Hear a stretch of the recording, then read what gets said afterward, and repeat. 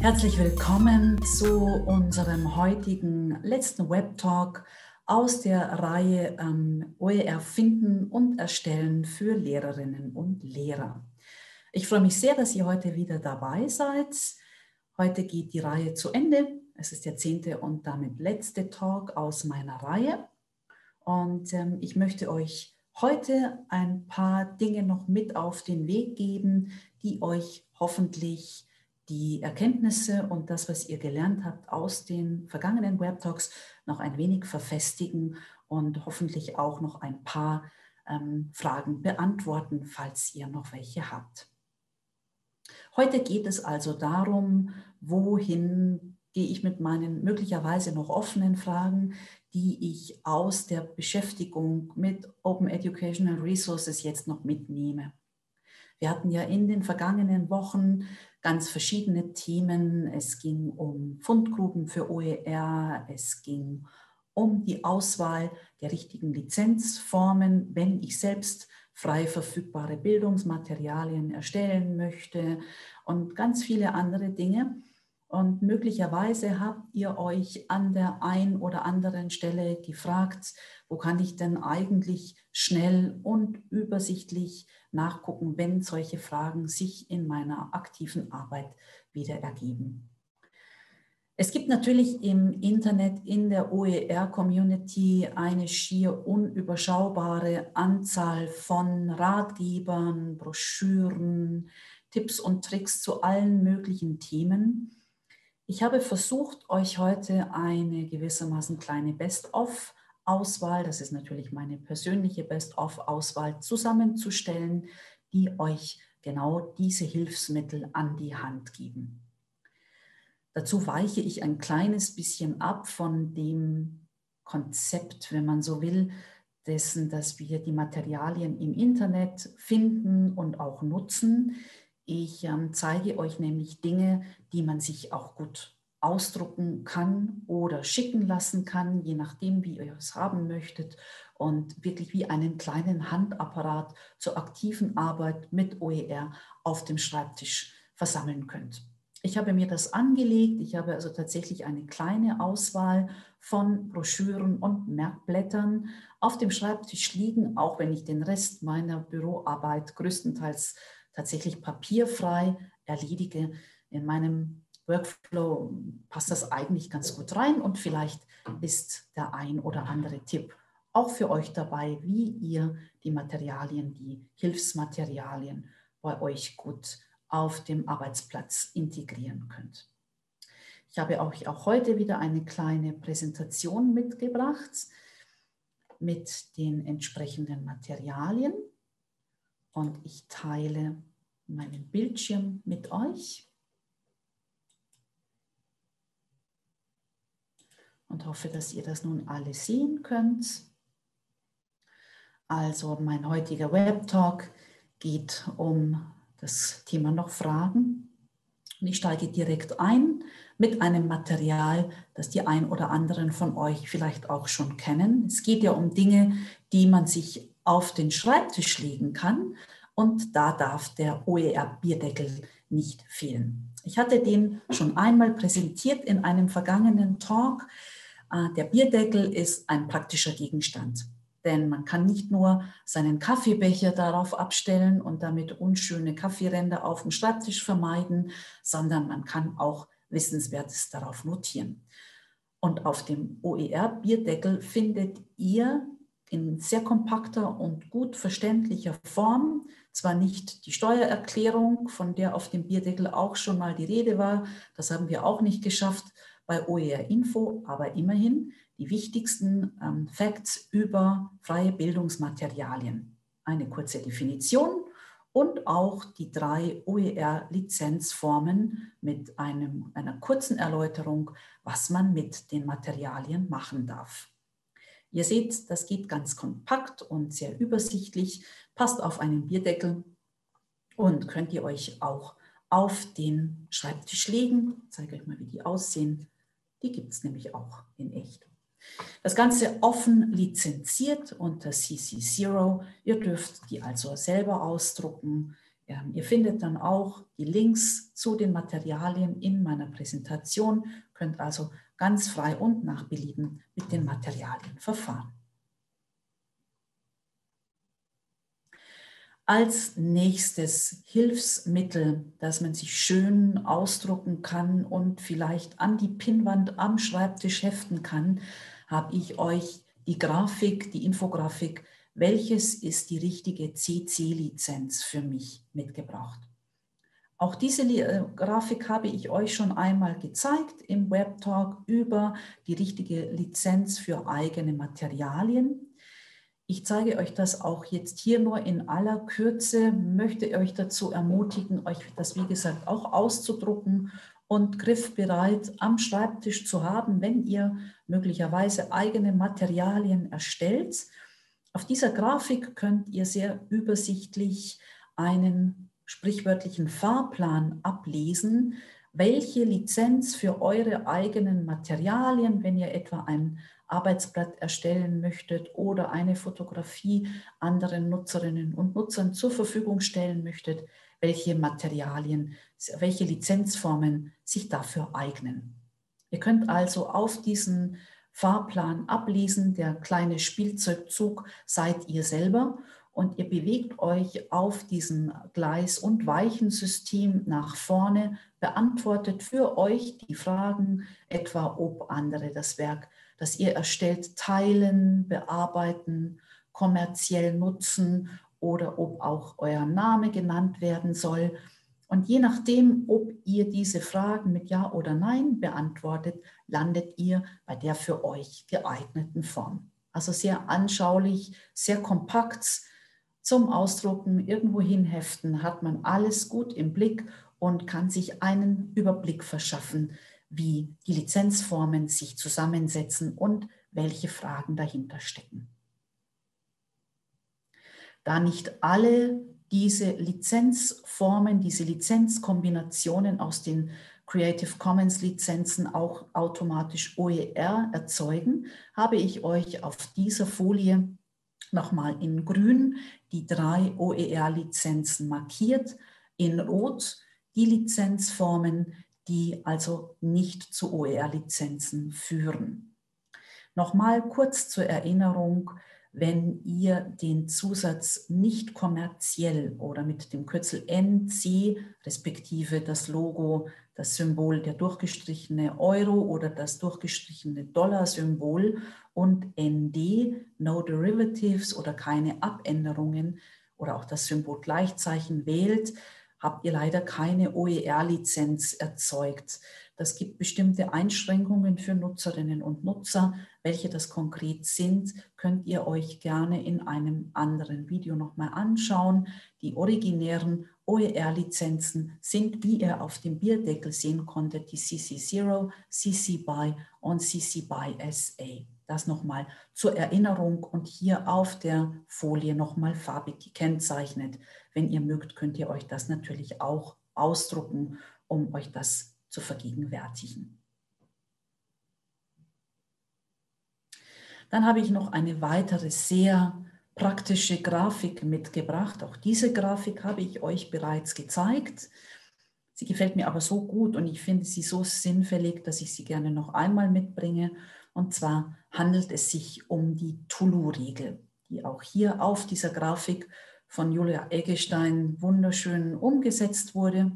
Die Tulu-Regel zeigt uns ähm, mit diesem sehr leicht zu merkenden Begriff Tulu, was wir machen müssen, wenn wir ähm, Materialien weiterverwenden und korrekt, richtig unter Creative Commons Lizenzen kennzeichnen möchten.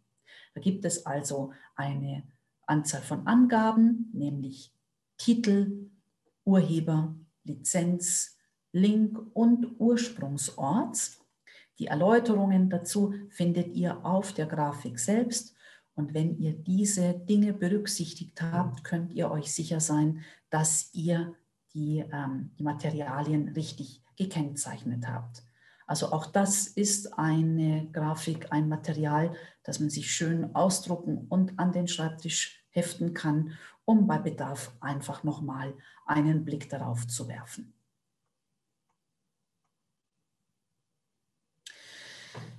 Nun möchte ich euch ein paar etwas umfangreichere Broschüren ans Herz legen, nachdem wir ja jetzt ein paar einseitige Beispiele, also auf einem DIN A4-Blatt auszudruckende Beispiele kennengelernt haben, möchte ich euch gerne die Jointly-Broschüren von iRights ans Herz legen. Es handelt sich dabei um insgesamt acht Broschüren, die erstellt wurden im Rahmen des Jointly-Projekts. Das war ein Projekt im Rahmen der OER-Förderrichtlinie des BMBF. Und man hat also äh, eine ganze Reihe von Broschüren erarbeitet, die Nutzerinnen und Nutzern hilfreiche Tipps für die Arbeit mit und an OER geben. Ihr seht hier schon auf den ersten Blick, ich habe auf meiner Folie einfach die Deckblätter abgelegt. Es geht um Tipps für gutes Lizenzieren von OER bis hin zu ähm, Ratschlägen und Tipps zum Kombinieren, Bearbeiten und Remixen von OER, was Creative Commons sind, ähm, was offene Bildungsmaterialien und Geld verdienen gemeinsam haben und dergleichen mehr. All diese Broschüren stehen euch zum kostenfreien Download zur Verfügung. Man kann sie sich sehr kompakt und eben auch gut ausdrucken. Und auch ich habe einen kleinen Ordner mit diesen Broschüren auf dem Schreibtisch stehen, den ich tatsächlich auch immer wieder konsultiere, weil die Broschüren sehr gut verständlich und sehr kompakt formuliert sind. Ich zeige euch als Beispiel die fünf Tipps für gutes Lizenzieren. Ihr seht, beim Klick auf den Link, den ich hier hinterlegt habe, öffnet sich schon die Broschüre und ich scrolle ganz kurz zum Inhaltsverzeichnis. Es ist sehr übersichtlich, beschränkt sich auf wenige Inhalte, die in dieser Broschüre zu finden sind und ihr findet gut verständlich und ähm, präzise formuliert die einzelnen Inhalte in der Broschüre die ihr hier bedenkenlos weiterverwenden könnt, auch weiter verbreiten. Ihr könnt sie in eigene OER einbinden, denn alles ist schön unter der Lizenzform CC BY 4.0 lizenziert. Ich zeige es euch hier, beziehungsweise einige ältere Versionen sind hier noch, aber CC BY ist das für uns Entscheidende. Ihr könnt also diese Broschüren bedenkenlos verwenden. Schaut euch gerne um auf diesen, in diesen Broschüren. Ihr findet das Ganze natürlich auch im Netz unter der Seite von iRights Info. Auch das habe ich euch mal hier hinterlegt. Ich werde gleich noch ein paar Worte zu iRights sagen. Ihr findet also hier auf der Seite selbst die Broschüren zum Download und auch eine ganze Vielzahl von weiteren. Und ich möchte euch gerne noch ein paar weitere Beispiele zeigen von sehr hilfreichen Materialien, die ihr auf iRights findet. Unter anderem, was ich euch gerne noch zeigen möchte, ist die Artikelreihe Bildung und OER zu erwähnen, die ihr bei iRights findet. iRight setzt sich zusammen aus einem sehr kompetenten Team aus wissenschaftlichen Journalisten, ähm, die unter Zuhilfenahme auch von ähm, anwaltlichem Rat Broschüren und Themen bearbeiten. Und hier in dem Blog Thema Bildung und OER findet ihr in regelmäßigen Abständen Beiträge zum Thema Open Educational Resources und Bildung. Hier ganz aktuell vom 14. Januar findet ihr einen Artikel zum Thema, wie vertragen sich Fotos und Inhalte aus Pixabay und ähnlichen mit Creative Commons Lizenzen und OER. Wer möglicherweise schon in einem der vergangenen Talks dabei war, kennt diese Problematik. Ähm, es verändern sich ja auch Lizenzbedingungen in verschiedensten Plattformen. Es kann immer wieder mal sein, dass neue Lizenzformen auftauchen und dann fragt man sich, wie gehe ich damit um, wenn ich selbst OER erstellen möchte. Hier findet also findet ihr viele und aktuelle Informationen zu diesem Thema. Hier gibt es auch weitere Inhalte zum Thema Infografiken, Autorinnenverträge und so weiter und so fort. Also nicht nur die Broschüren auf iWrites sind ein echter Tipp für euch, sondern auch die Bloginhalte. Wir bleiben aber ein wenig noch bei dem Thema Broschüren, denn ich wollte euch eigentlich ja Dinge an die Hand legen, die ihr gut für einen kleinen Handapparat auf dem Schreibtisch brauchen könnt. Es gibt eine Rubrik Urheberrecht in Bildung und Unterricht, die ich euch hier verlinkt habe. Ähm, beispielsweise findet ihr hier eine Broschüre zur Kultur im Livestream oder diverse Live äh, Leitfäden zu Rechtsfragen, zu Digitalisierung und Lehre. Da wird es etwas spezieller. Wer aber sich äh, vertieft mit diesen Dingen auseinandersetzen kann, findet wie üblich auch hier weitere Broschüren. Und last but not least möchte ich euch auf die ClickSafe-Broschüren aufmerksam machen. Die sind also in Kooperation mit ClickSafe entstanden. Es handelt sich um eine sechsteilige Reihe mit dem Überthema Durchblicken im Rechte-Dschungel.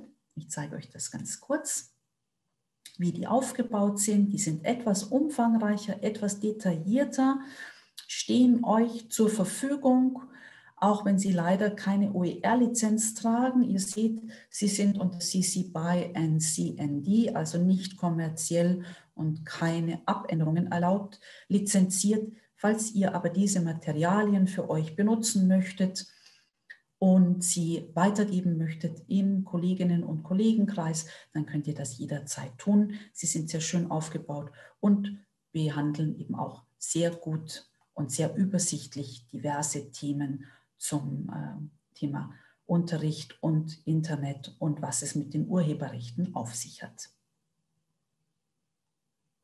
Als letztes Beispiel für eine Broschüre, die man sich gut auf den Schreibtisch legen kann, habe ich euch die Broschüre OER in der Schule mitgebracht.